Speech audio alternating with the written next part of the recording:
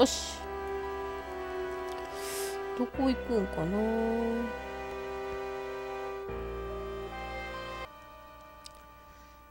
雪やコンコンあられやコンコン。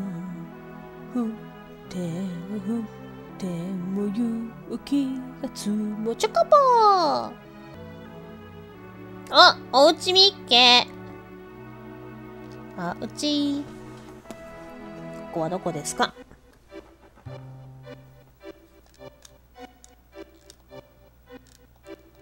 読んでくれない。まあいいや。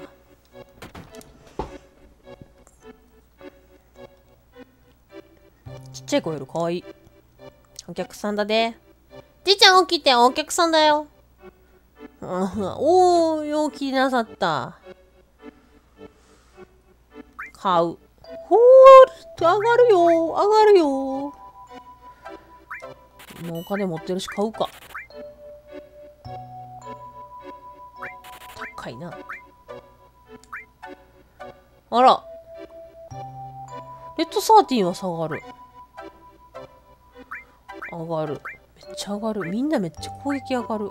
やば。ライアット。ほう、あ、ライアット持ってんぜ。あれ持ってない？んか、ライアットは。まあいいや。オッケー。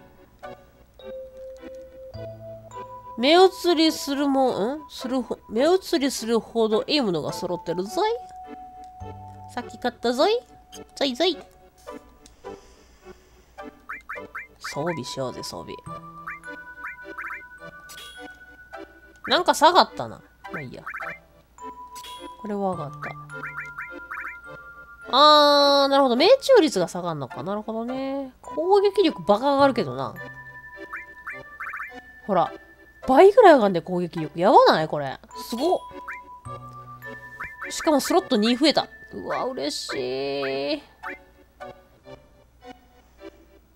おおきに。ありがとうね。かっこいいね。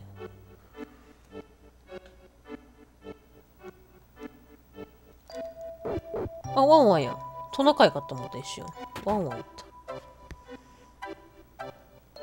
こんにちは。あの子ったら引っ越してすぐに怪我しちゃうんだから。スノーボードなんか買ってあげるんじゃなかったわ。あ、ここ引っ越したって。なるほど。どっちだ？あ、猫ちゃん。寝転んでんのかと思った。こけた？ん大丈夫？な、大丈夫？怪我し、怪我だけで済んでよかったな。骨折とか並んでな。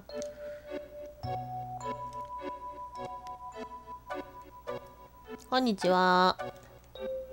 次はもっと大きなの作るんだ。もうすぐ完成なのよ。うん、いいね。雪だるまね。いいね。どこここどこどこ私はどこあ、いたいたいたいた。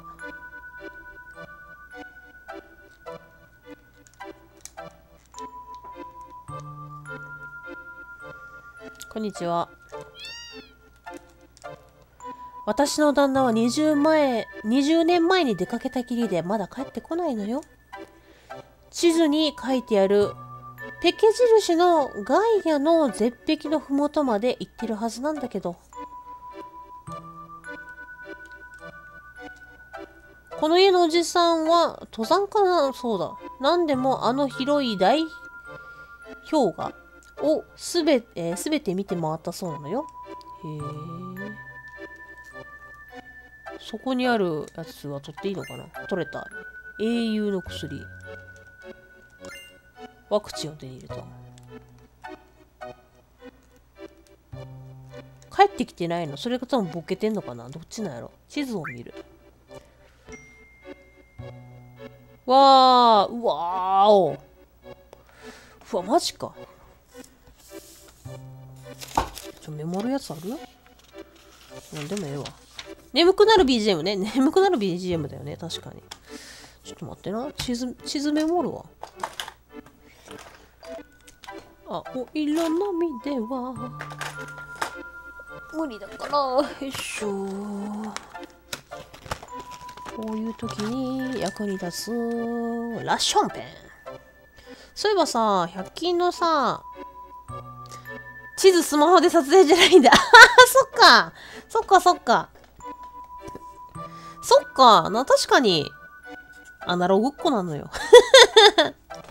撮影しても、携帯を常に触ってるわけじゃないからさ、私。じゃあ、メモっといたら、パッて見るから、私は割と、チキチキって書いちゃうな、すぐに。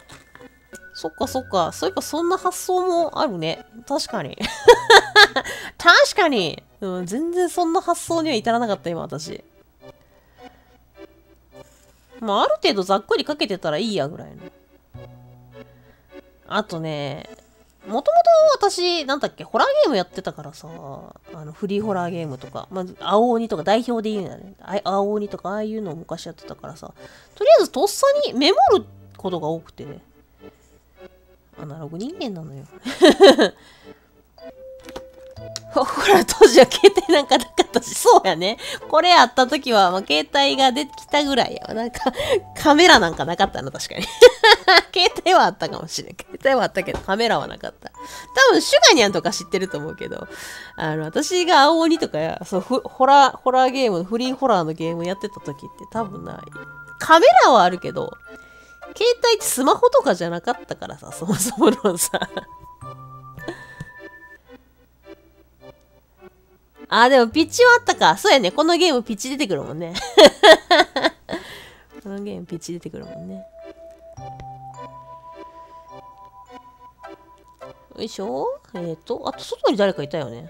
いたいたいたいた。ヘロー。北の果てに無事たどり着くためには地図がなければ不可能に近いんだ。北の果てに行くならば壁に貼っている地図を持っていけない。持ってっていいの？マジで言ってる？え、持ってっていいの？ちょちょちょちょちょ。取るキーアイテム手に入れた。え？ー、メモらんでよかったやん。めっちゃ頑張ってメモったし。私の数分返して。いいよ。別に。見ひんし、多分。キーアイテムとして持ってっとこう。コレクションとして持ってっとこう。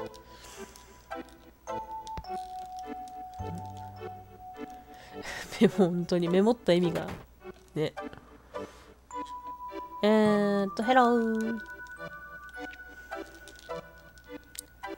この村の先に超デンジャラスな坂か、坂じゃねえ、坂合ってる？あるらしいんだけどさ、滑らせてくれないんだよ。なんてかさ、このクソ寒い中、お前らなんで海パンやねん。今思った。全裸、全裸じゃない。全裸は言い過ぎ。ごめん。半裸やん。びっくりした。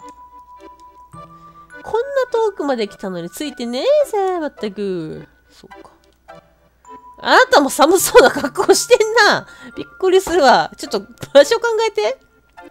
私たち、コスタ・デル・ソルからスノボしに来たんだけど、もう帰っちゃうのよ。あの、あれやね。うん、わかる。海、海岸のとこやんな。せやんな、確か。北条さんがすごいバカンスしてたとこやんな。多分ここ宿屋やんな。ちょっと、喋らせて。宿のおっちゃんと喋らして。一に、えー、今日は一段と寒いね。200ギルダが止まったかちょっととりあえずいい。また来てくださいね。ちょっとみ、ちょっと待って。うーん、微妙なところやな。回復してく。どうしよう。とりあえずみんなと喋っていこう。ふぅ。なんだい？やけどするから近近寄んじゃねえぞ。はーい。はーい。調べられへん、何も。くそ。上に上がろう。なんかある？あ、なんかあるわけじゃないねんな。あ、なんかあるエクスポーション？ナイス勝手に出たらあかんのかな？いつも思うけど。200か。ほんまに。需要と供給が見合ってるお店でよろしいで。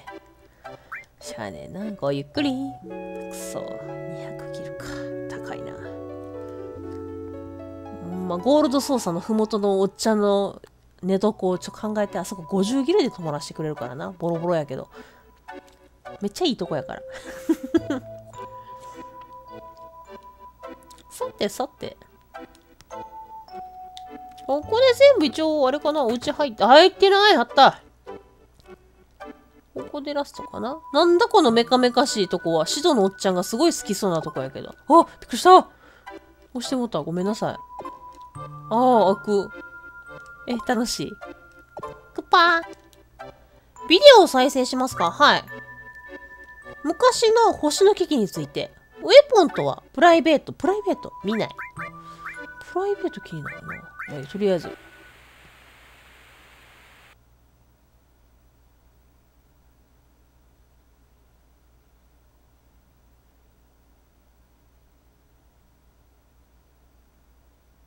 え、これプライベートじゃないん？うん。